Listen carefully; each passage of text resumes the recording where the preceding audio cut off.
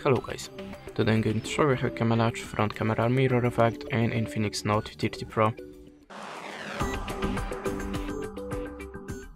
So in the first step open the camera app, then flip camera to the front one, and now if I take the photo in the default state of the device, as you can see the photo is exactly same like in the camera preview. So if you want to flip your photos, open the settings, and just click here on the mirror icon. Then go back to the camera, take your photo again, and now the photo shall be flipped. And this is how it works. Thanks for the watching, it was a like or a comment, and goodbye.